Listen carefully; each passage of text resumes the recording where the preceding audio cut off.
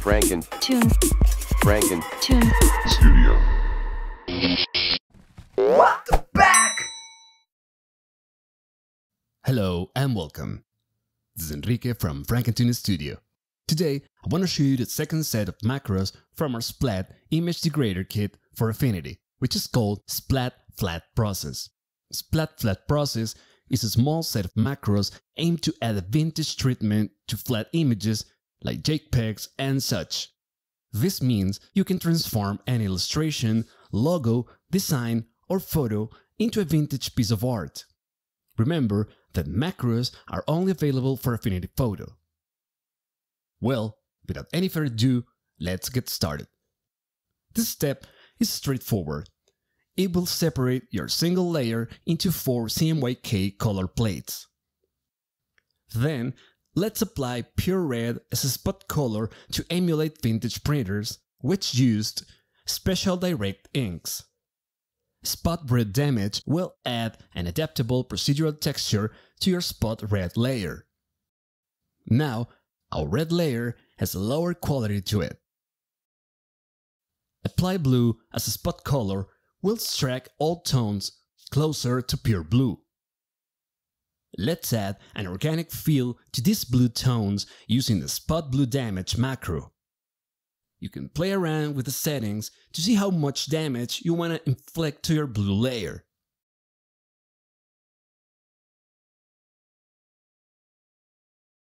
Click apply when done.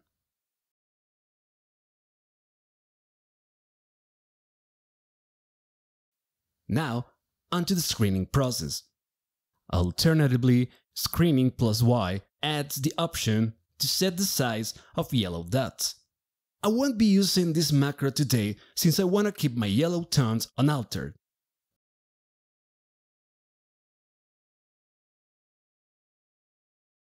Misaligned spot colors will shift your plates automatically for more authentic handmade look. Check out how this step makes colors bleed through each other and adds a lovely texture overall.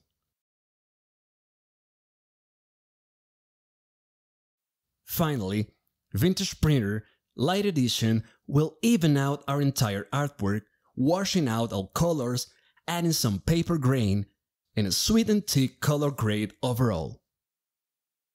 You can play around with the settings to see what looks best on your artwork. Apply when finished. From now on, you're free to explore all layers, deactivate them or dim their opacity to attenuate their effect on your final image.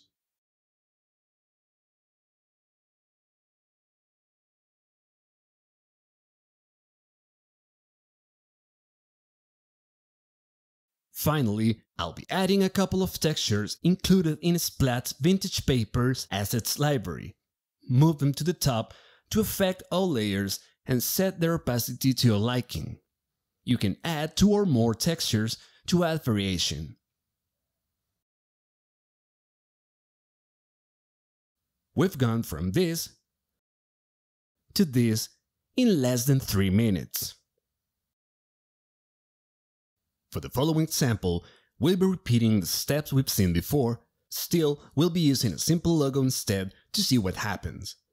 Apply a single film separation macro to get started. Then apply red as a spot color. Now goes spot red damage.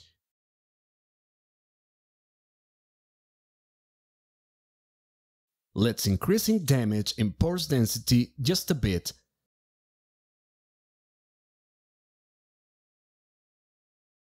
And apply.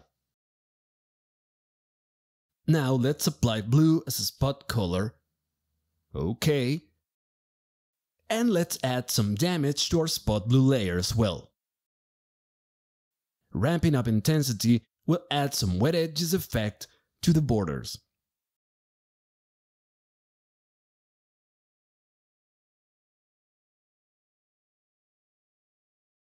Repeat screening and increase the dot size to make them perfectly visible. About 12 pixels should be enough. then misalign spot colors.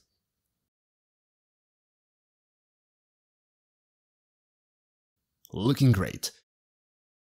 And finally, Vintage Printer Light Edition. Adjust the controls if needed and hit apply.